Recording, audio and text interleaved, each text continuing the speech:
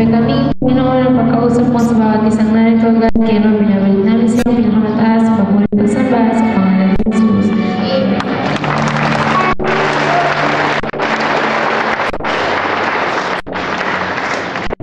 Ayan. So, good morning po. Ano po yung mga bago tayong kasamahan na kadarating welcome po sa mga galing ng Mauban, galing ng Manila. Ayan, welcome po sa gawain ng Panginoon.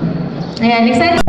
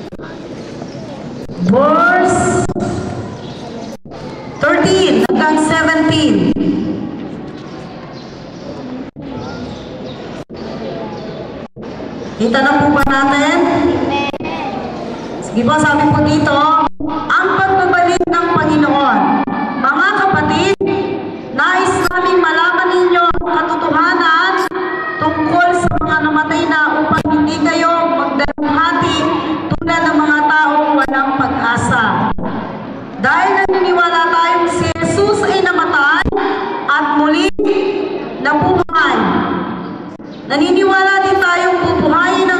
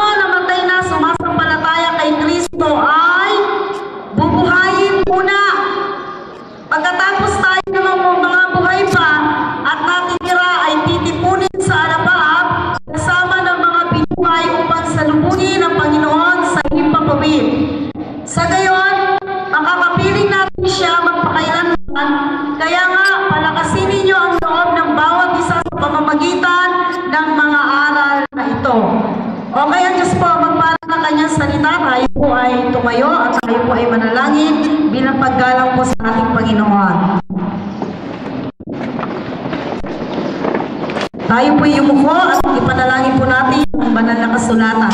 Aming Ama, sa pangalan ni Jesus, maraming salamat sa magandang umaga sa araw na ito.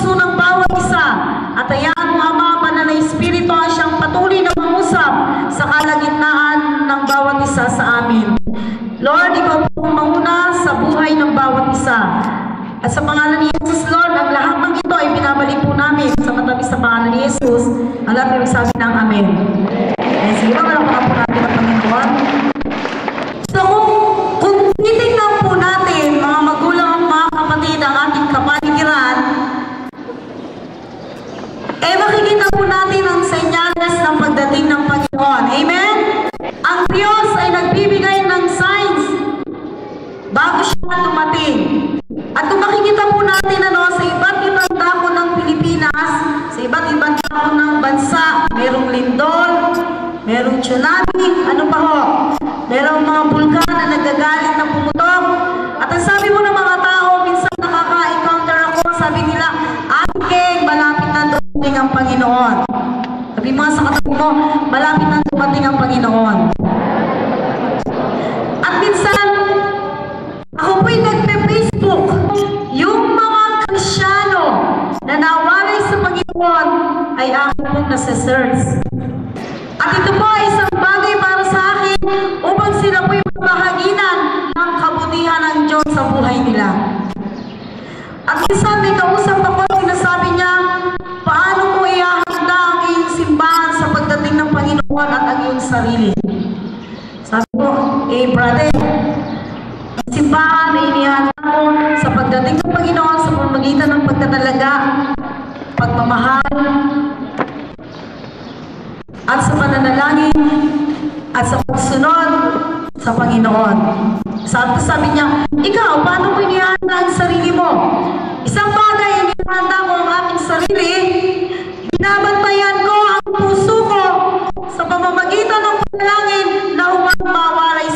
Amen? Sabi ko sa kanya, piniprepare ko ang sarili ko. Ayaw kong mawalay sa Diyos kasi kinala ko na yung Diyos na aking pinaglilingkuran. Sabi niya, ay tama yung sinabi mo. Sabi niya, na kahit po ako yung pala sa salibutan, ang puso ko nais kong handa sa pagdating ng Panginoon. At yung mga bagay na pinapagawa niya, sabi ko, nais ko pa rin itong gawin sa Lord.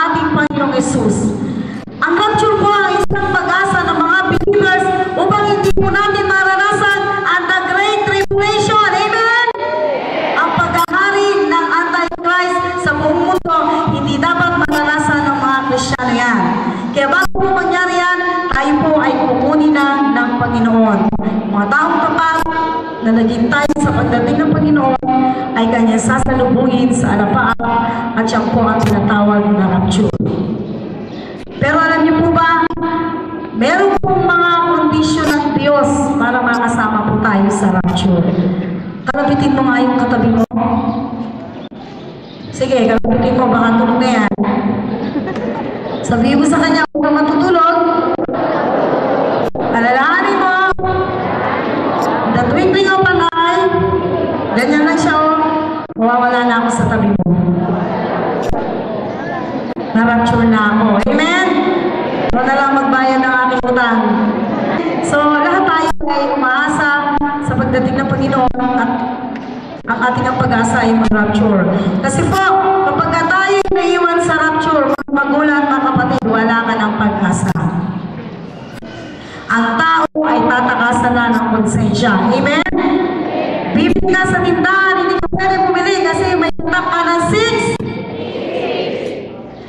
Lahat ng bagay na gagawin ko ay mayroong tatak ng 6.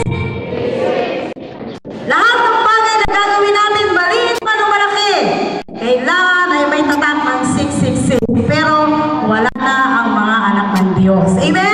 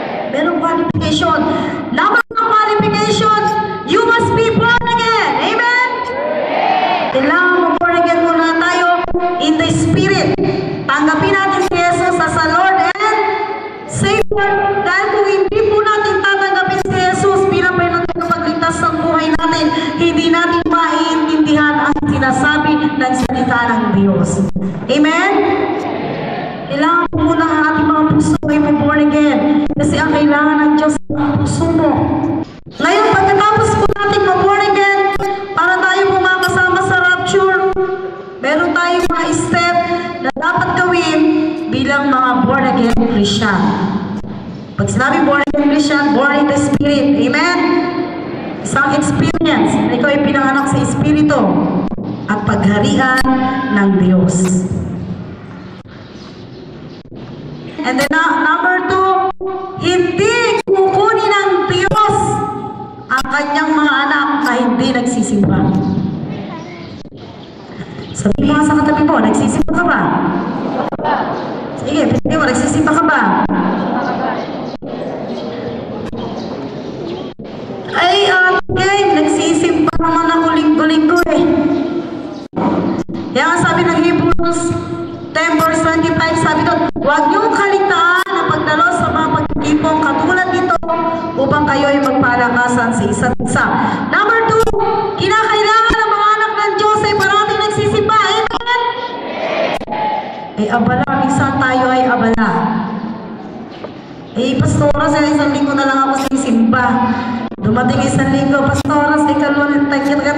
na lang.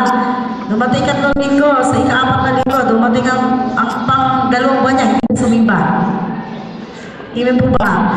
Number two, para po tayo ay para yung pagsambangin hindi pa makakasama sa rapture. Hindi nagdarasal! Kaya ako sabi ko kanina, you must be born again. Amen? Para alam mo na alam mo kung sino yung Diyos na yung tinatawagan. There is only one God, only Jesus. Amen? Si Jesus ang daan, si Jesus ang katotohanan, si Jesus ang buhay, walang makakapunta sa Mama maliban kay Jesus. At si Jesus din po ang susundo sa atin doon sa alapaap upang salubungin ang kanyang mga anak. Balakpakan po natin ang Panginoon.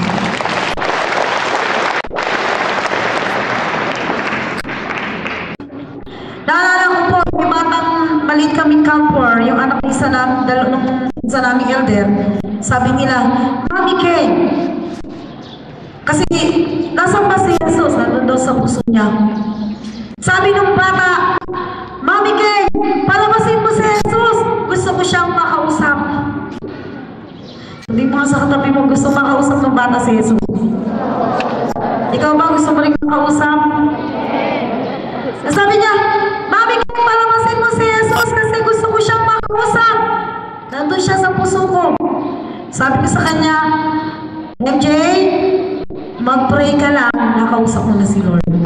Sapagkat ang pananalangin ay ang pakikipag-usap sa Diyos. Amen? Sino po yung Diyos natin? Sino po yung tagapagligtas natin? Sino po yung kukuha sa atin? Sasalubungin tayo sa alapap? Si Jesus.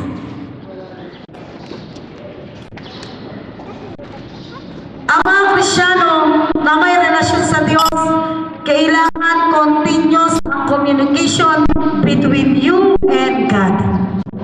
Amen? Ang pagsasama ng isang mag-asawa kapag ka wala ng communication, tumatabang. Amen? Sino po dito may mga asawa taas ang kamay? Ako may asawa ako. Ay, yung iba hindi na tumaas. Kukunti pala. Paano yan? Mga pastora. Karami pala dito, single.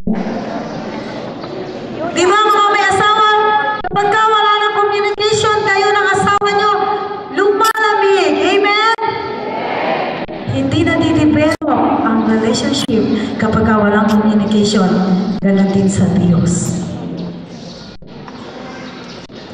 Upang tayo ay makasama sa rapture, kailangan natin magdasal. Continuous ang communication natin sa ating Panginoon. May natutunan po ba tayo?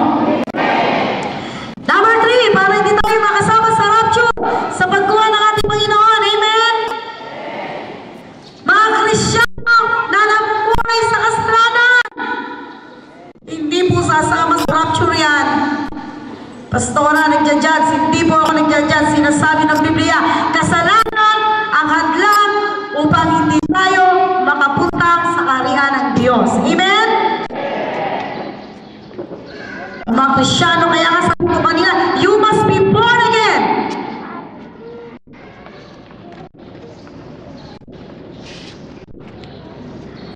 Dahil kung hindi po born again ang puso natin, mga magulang, mga kapatid, hindi natin kaya lumayo sa kasalanan. Maaari sa ngayon, nandito tayo, sama-sama tayo, kasi ang mga tao dito, eh, wala kang makikita gumagawa ng kasalanan eh. Pero paano na paglabas natin? Mga Krisyano na hindi lumalayo sa kasalanan. Ang dami. Bilang pastor, kung minsan makikita mo ang minsan ang iyong mga tupa. Amen? Marami kang makakahalubilo. Ako bilang pastor, nalulungkot ang puso ko. Amen?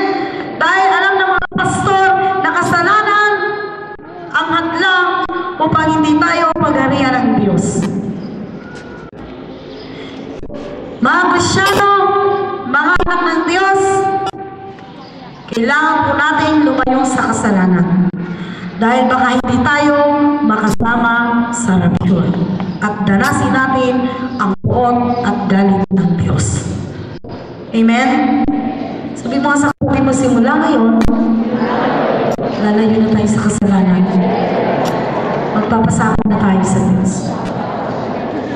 Pero po tayo natututunan?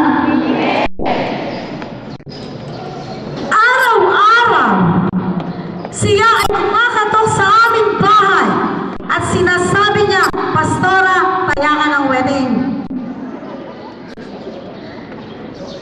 Eh, sister, tinawag mo pa akong pastora kung ako'y patatayain mo sa wedding.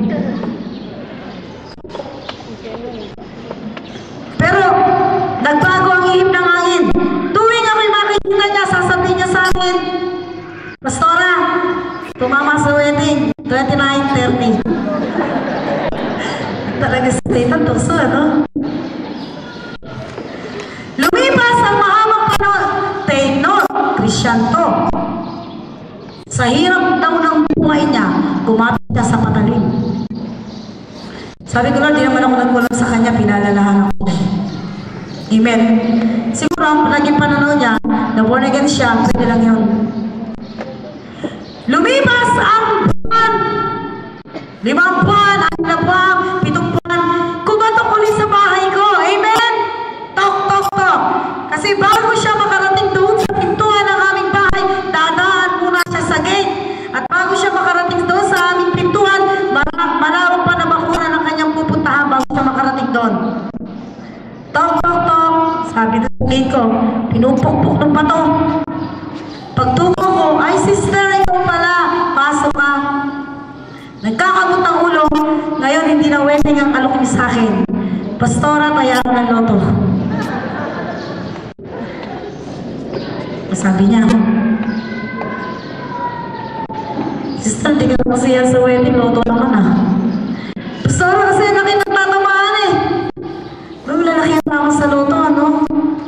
millones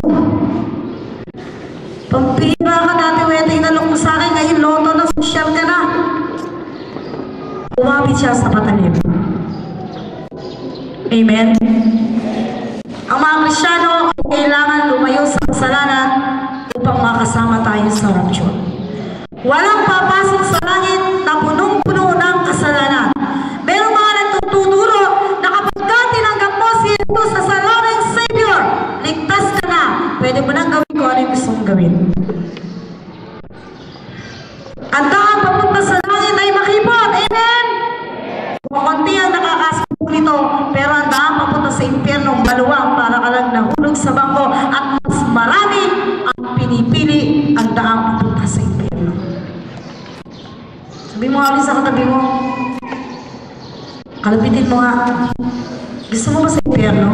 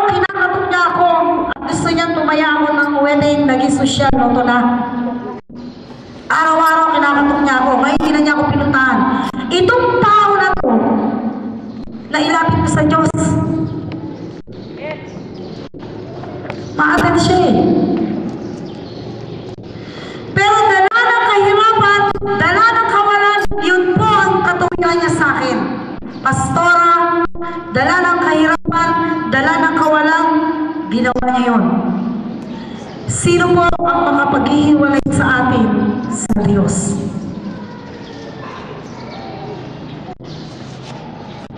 Kanina ay nabanggit ko, kasalanan ang isang dahilan ng isang taong hindi mananampalataya upang hindi niya makita ang kadakilaan ng Diyos. Kasalanan ang dahilan kaya ang tao at ang, ang, ang tao ay nawalay sa Diyos. Amen?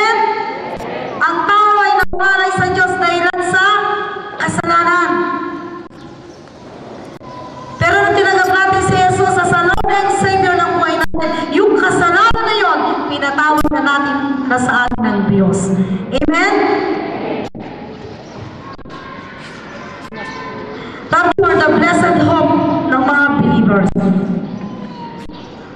Ano po ang makapag-iwalay sa atin upang hindi, hindi, hindi pa tayo makasama sa rapture? Ang dami, mga kapatid, ang dami.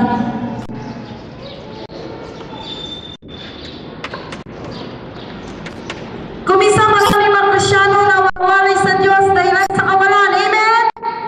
Pero kalooban ng Diyos na ikay maging masagana kung ang banal na kasulatan. Minsan, marami mga Krisyano na nanalangin, Panginoon, pagpalain mo ako. Amen? Sino mo nananalangin na ganito panalangin? Ako nananalangin ako, hindi na ako maglilihim. Aba, wala. Hoy, sabi mo sa katabi mo, huwag ka nang mahiya.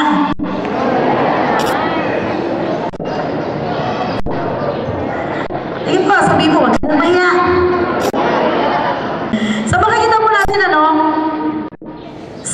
Po, ano po ang makapaghihiwalay sa iyo sa Diyos?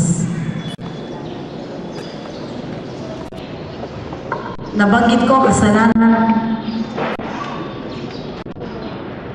Kanina nakipag-usap po, titingnan niyo po ang aking topic, nakikipag-usap ako sa mga baguhang mananampalataya. Ngayon po, in general, pinapaabot po sa ng Diyos, Krisyano ka man matagal na, kababorn mo pala ngayon, matagal ka nang naglingkod, matagal mo nang kilala si Jesus. Ano pa ang makakapag-iwalay sa'yo para hindi tayo makasama sa rapture? Nananalangin tayo, Panginoon, pagpalain mo ako. Siyempre, nanalangin tayo, pagpapalain ka ni Lord. Sabi mo sa katabi mo, pagpapalain naman tayo ni Lord eh.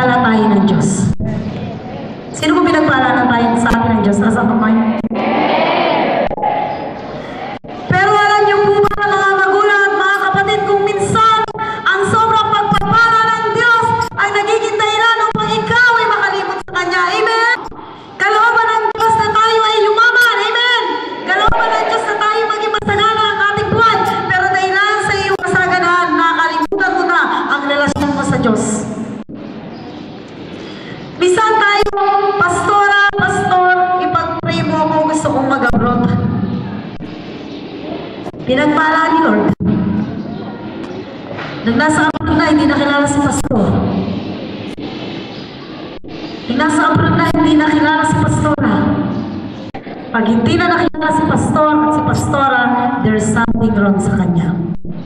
Kaya minsan ang pagpapala ng Diyos ay naka, nagiging dahilan upang ito ay mawalay sa Kanya.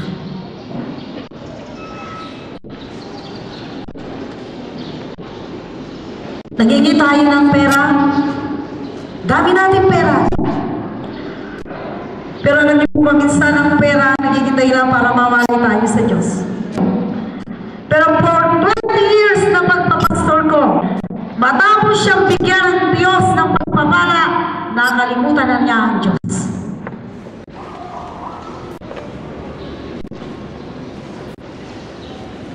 Hindi niya kailangan ng pera, may pera na siya eh. Hindi niya kailangan si Jesus. Ano pag kay Jesus? May pera na siya. Sabi mga sa katabi mo, pautang naman, may pera ka na.